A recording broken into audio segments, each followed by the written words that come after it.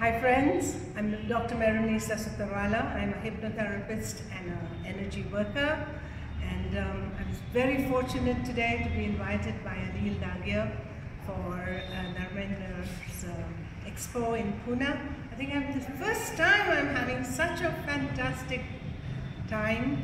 There were five speakers, all of them very energetic, very informative, and a lot of learning. So I must thank both of your boys. Thank you very much for inviting me. I had a gala time.